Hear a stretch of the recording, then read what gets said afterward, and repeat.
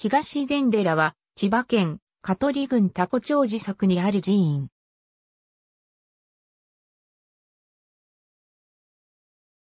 三号、陰号は、土橋山阿弥陀院、本尊は、阿弥陀如来。現在は、小道雨の立つ跡地と墓地などを残して移転し、新言創出政治派に属する。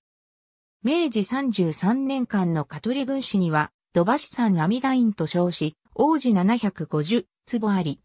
自伝に言う、天平3年、東岸人の回帰するところなりと、とされ、千葉市の拠点所領であった千田荘の中心に位置し、王子は下宇佐国の文化最先端の寺院であり、鎌倉極楽寺や金沢正明寺と、並びなら最大寺映像によってもたらされた、南都教学の東国における拠点であった。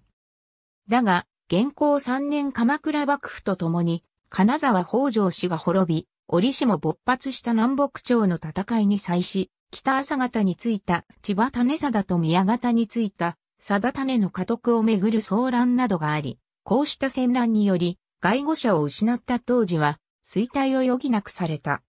その後、交渉元年には、京徳の乱で、幕張高種に攻められた千葉種忠が、当時の本堂とされる土橋の如来堂で自害し、千葉市宗家は滅亡した。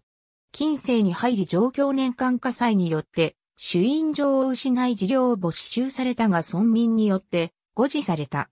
天命、完成年間の寺門本松町によれば、交際寺の門徒寺院として、香取郡、土橋村東禅寺と見える。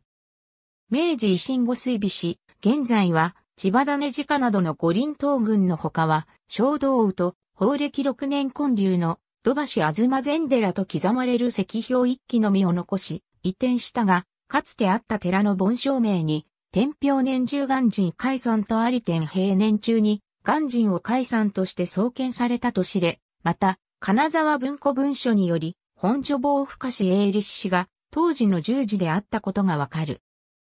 ありがとうございます。